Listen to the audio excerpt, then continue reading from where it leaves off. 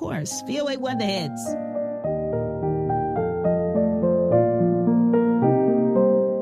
Welcome to Learning English, a daily 30 minute program from the Voice of America.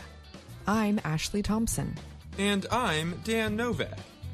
This program is designed for English learners, so we speak a little slower and we use words and phrases especially written for people learning English. Coming up on the program, Katie Weaver reports on violence in Ecuador after the apparent escape of two gang leaders. I report on a new AI key on computer keyboards using Microsoft Windows. Bryan Lynn has the technology report on this year's Consumer Electronics Show. Later, Andrew Smith and Joe Robbins present the lesson of the day. But first, Officials in Ecuador say men with face coverings broke into the set of a public television channel in Ecuador, waving guns and explosives during a live broadcast on Tuesday. That led the president to declare that the country had entered an internal armed conflict. The men were armed with guns and what looked like sticks of dynamite. They entered the set of the TC television network in Guayaquil during a nationwide news program. The men shouted that they had bombs. Noises similar to gunshots could be heard. No one died in the attack. Officials later said all the 13 intruders had been arrested and would face terrorism charges. Officials have not said who was behind the television station attack. They also have not said who was behind a series of other recent attacks. But the violent incidents followed the escapes from prison of two leaders of Ecuador's most powerful drug gangs. President Daniel Noboa on Monday declared a national state of emergency. The measure lets officials suspend people's rights and use the military in places like prisons. The government has not said how many attacks have taken place since Los Choneros gang leader Adolfo Macias was found missing from his low security prison cell Sunday. He was supposed to be moved to a high security facility that day. On Tuesday, Ecuadorian officials announced that another gang leader, Fabricio Colon Pico, of the Los Lobos group, had escaped from prison.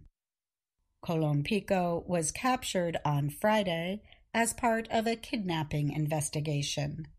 He has also been accused of trying to murder one of the nation's lead prosecutors. Other attacks have included an explosion near the house of the President of the National Justice Court. On Monday night, four police officers were kidnapped. Will Freeman is a political expert at the Council on Foreign Relations. He said gangs in Ecuador have assassinated a presidential candidate and set off car bombs in front of government buildings in the past. But he said Tuesday's events marked a new peak in violence in the country. Ecuador sits between Peru and Colombia, the world's largest cocaine producers. In recent years, Ecuador has become a key passage point for cocaine. Much of the violence in the country comes as drug gangs fight each other and the government for control of ports and smuggling points. Freeman said that Ecuador's government will have to find ways to control prisons, where gang leaders continue to run their operations. it might have to consider extraditing some of the top criminal leaders to the United States. Ecuador, a nation of 20 million people, might also have to make judicial changes to give judges greater safety. If these guys can storm a TV station or kill a presidential candidate, you as a judge will not go up against them without promises of safety, Freeman said. Los Choneros is one of the gangs that officials consider responsible for the increase in violence. It reached a new level of violence last year with the assassination of presidential candidate Fernando Villavicencio. Officials say the gang has links with Mexico's Sinaloa cartel. The whereabouts of Macias are unknown. Prosecutors opened an investigation and charged two guards in connection with his apparent escape. But neither the police, the prison system, nor the federal government confirmed whether the prisoner fled the facility or might be hiding in it. In February of 2013, he escaped from a high security facility but was recaptured weeks later. I'm Katie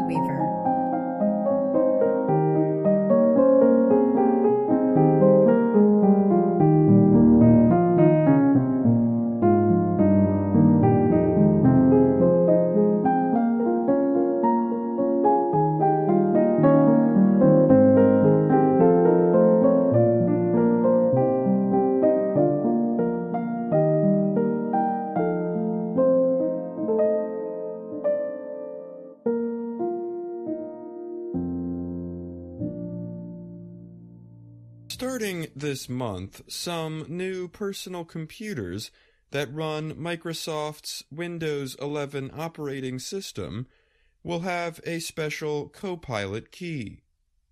The key will launch the software company's AI chatbot. Getting computer makers like Dell to add an AI key is the latest move by Microsoft to make use of its close partnership with ChatGPT maker OpenAI. With the development, Microsoft is turning its software into an opening for generative AI technology. Most people now connect to the internet and many AI applications by phone rather than computer. But the announcement is the start of what is expected to be a competitive year for technology companies and AI. Many companies still have not answered all of AI's ethical and legal questions.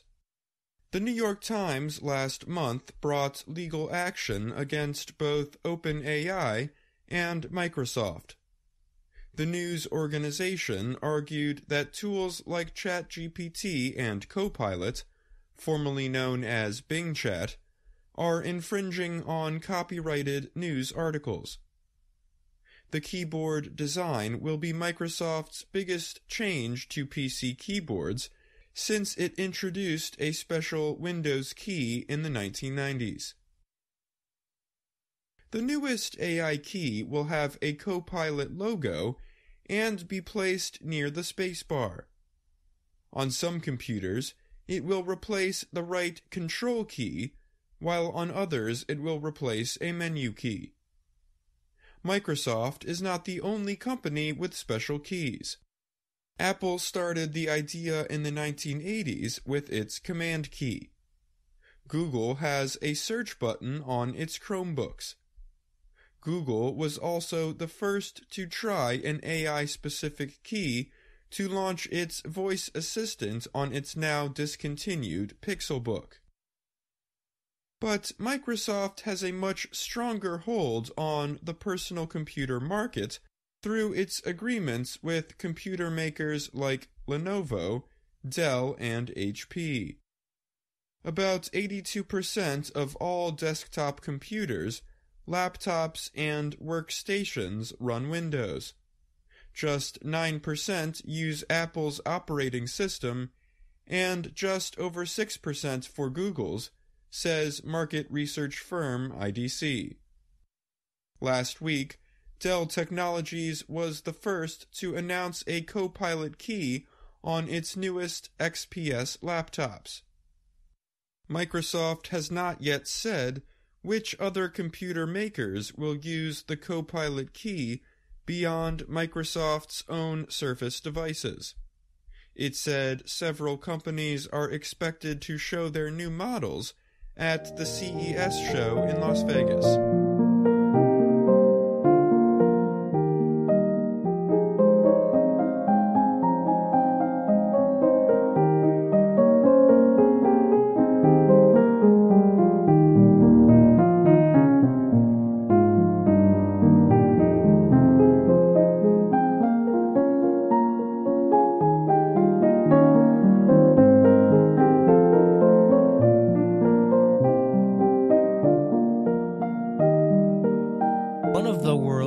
Largest technology events, CES, is happening this week in Las Vegas, Nevada. The show is produced by the Consumer Technology Association, which is based in Arlington, Virginia. CES presents the latest technology offerings from companies across the world. Here is a look at some top products presented at CES 2024. Electronics manufacturers LG and Samsung brought televisions to CES that have a transparent screen design. The TVs use OLED technology. They are designed to be hidden in a room when not in use. David Park from LG's Home Entertainment Division described OLED to the Associated Press as a material that we can print on any type of surface. In this case, Park said OLED was printed onto a piece of glass. When not in the transparent setting, the TVs have a traditional black background. The companies presenting the TVs did not provide pricing information, but experts say the transparent models are likely to cost tens of thousands of dollars. South Korea's Samsung announced it was cooperating with automaker Hyundai to develop home to car and car to home services for all Hyundai and Kia vehicles. This artificial intelligence AI powered system will permit users of Samsung's SmartThings service to remotely set their vehicle's temperature or open its windows. And users can control lights and connect to devices inside the home when inside the car. South Korean electric automotive company HL Mando demonstrated a parking robot called Parky. It is designed to operate independently in parking structures. The robot can move underneath parked vehicles, lift the cars up, and transport them to different spaces or return them to their drivers. Robotics developer Ogmen presented a new machine designed to assist pets. The OR robot is equipped with a food container to feed animals. It can also play with pets, record health details, and capture images and videos of animals' daily activities. Sports equipment developer Lifespan introduced an exercise bicycle desk combination that uses human power to charge phones or other devices. The Ampera bike is designed to be used with a standing desk table. Lifespan says at a speed of 60 RPMs, the bike can produce up to 65 watts of electricity per hour. Record player manufacturer Victrola presented a new turntable model that can send or stream music to a sound system or personal device.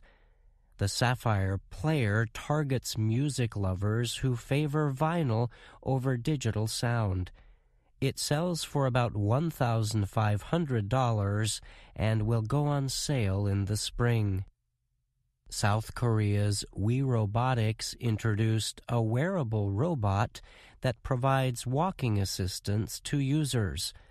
The company's WIM model is designed for anyone who feels the need for an extra push when walking. An online description explains the robot can help individuals walk farther, faster, and healthier. The price for such assistance is high, though, with the WIM selling for about $2,500. French health product developer Baracoda presented what it described as the world's first AI powered smart mirror for mental wellness. The company's BMind model is built to work in any bathroom and does not need a device app to operate. The product was designed to use cameras and sensors to collect data on a person's movements, expressions, and language. Creators of the device claim it can identify a user's moods and sense other possible mental health issues. The electronic mirror can then suggest different treatments or activities to help the user or even guide forms of meditation. The Cold Snap Company introduced a machine that can make single servings of ice cream in about two minutes. The machine uses small containers called pods, just like Keurig coffee makers. The company points out the pods for its cold snap machine can be kept at room temperature, saving energy costs. The machines can be taken anywhere and are simple to operate. Chinese robotics developer Mammotion demonstrated a new version of its self driving lawnmower. The latest all wheel drive Luba 2 includes new wireless abilities and tools to deal with obstacles in the grass. The robot mower is already available and sells for just over $2,000. I'm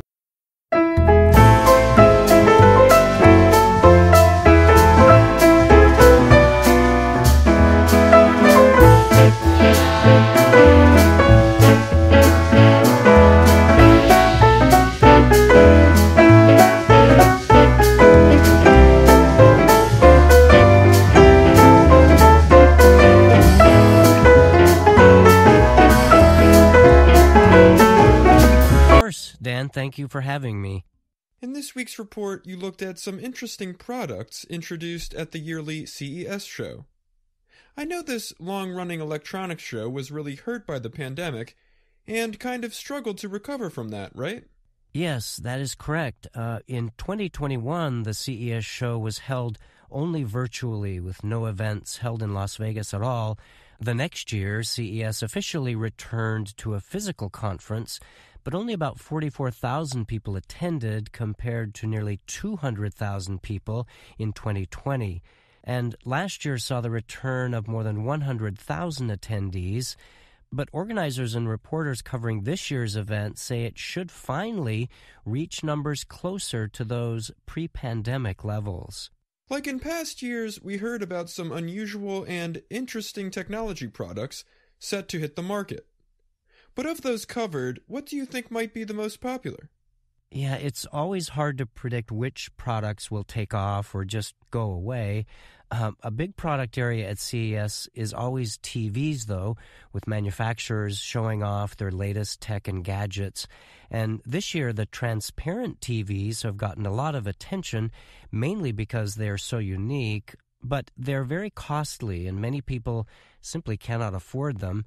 Um, I think two products that could really catch on are the pet sitting robot, uh, since the world is filled with pet owners who spend lots of money, uh, and the streaming record player, which gives uh, more options to true vinyl lovers. Sounds cool. Thanks again for being here, Brian. You're welcome. Thank you, Dan.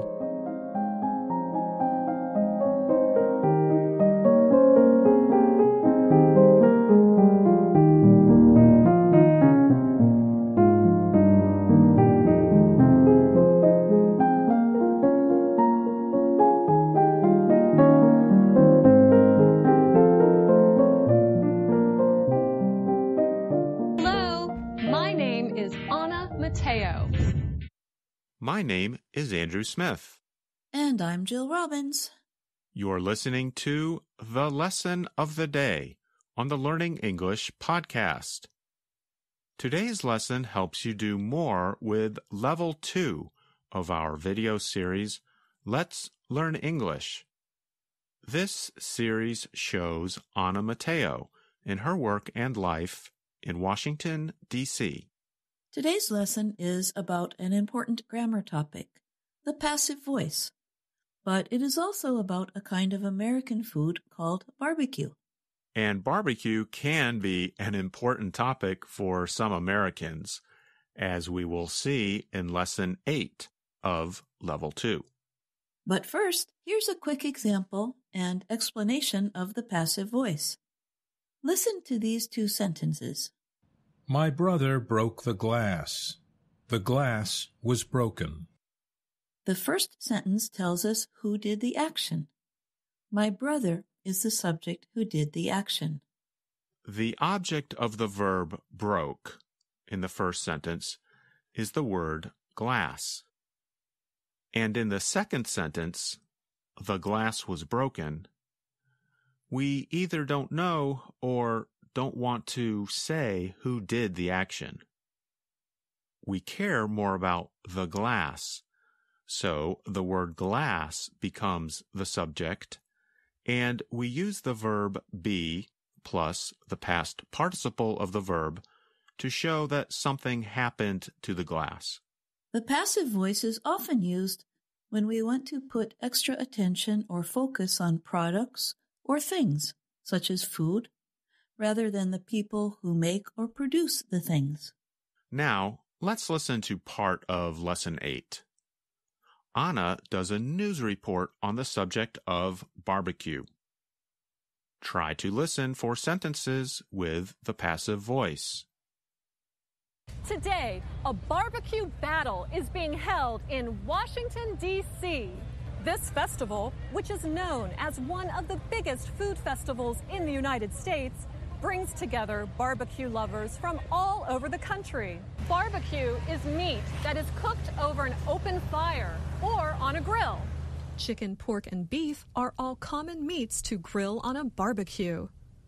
No matter which meat you like to barbecue, the sauce is very important. Sauces are taken very seriously by chefs. Most ingredients are kept secret. So, can you tell us what is in your barbecue sauce? No, I can't tell you. So, tell us, what is the secret ingredient in your barbecue sauce? Sauces are made by the barbecue chefs themselves. Most sauces are made with a tomato sauce, vinegar, and spices. Did you hear the definition of barbecue there? It's Barbecue is meat that is cooked over an open fire or on a grill. it doesn't matter who is doing the cooking, so the passive voice is used. You can also hear the passive voice in the last two sentences. The word sauces is more important than who makes them. So Anna uses the passive voice. Sauces are made by the barbecue chefs themselves. Most sauces are made with a tomato sauce, vinegar, and spices. Listen to Professor Bot give another example. How many passive sentences did you find? Here is one I found. Today, a barbecue battle is being held in Washington, D.C. You're listening to the lesson of the day on the Learning English podcast. We often use the passive when there are large numbers or statistics because there are so many subjects doing the action. For example, we might say that millions of smartphones have been sold during the last 10 years. In this example, we don't know or care about the people who sold them. We want to bring the listener's attention more to the phones than the people who sell them or who buy them. Now we're going to learn more about barbecue in the United States. Different regions or areas in the U.S. cook the barbecue and make the sauces in different ways. And there is some friendly competition between the regions about who has the best barbecue.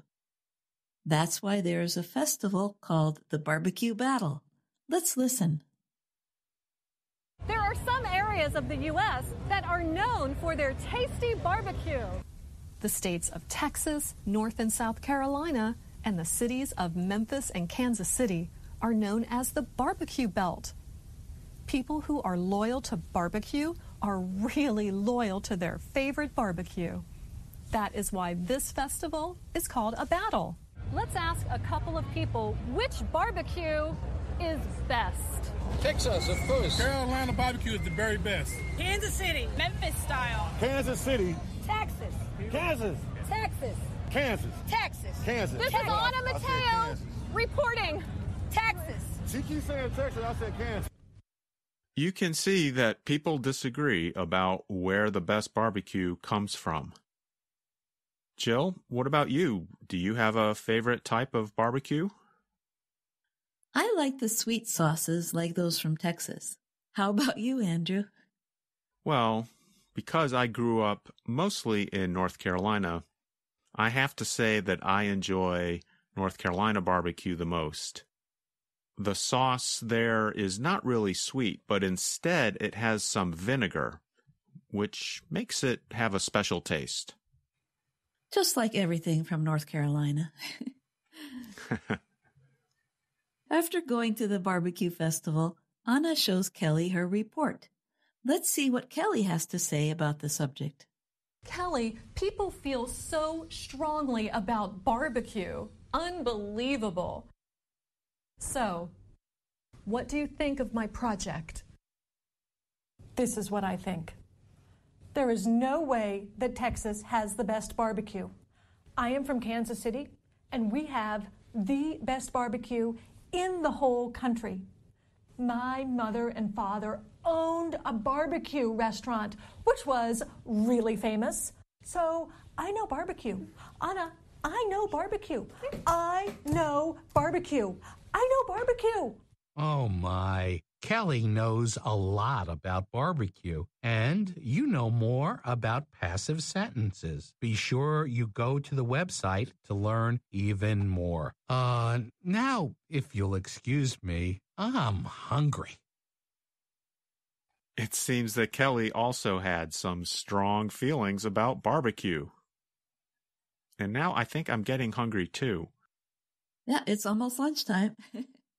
and as Professor Bot says, remember that you can learn more on our website at learningenglish.voanews.com. Each lesson of Let's Learn English has a lesson plan you can download for free. It explains more about the lesson and has helpful information for both students and teachers. Remember that you can also find us on YouTube, Facebook, and Instagram. And thanks for listening. I'm Andrew Smith. And I'm Jill Robbins.